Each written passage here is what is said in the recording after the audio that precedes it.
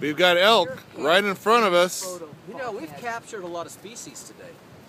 How many species have we captured, Michael? At A lot. yeah, a lot. Four. Yeah. Ten.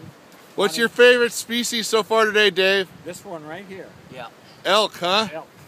Elk. Uh, Elk's pretty good. That great.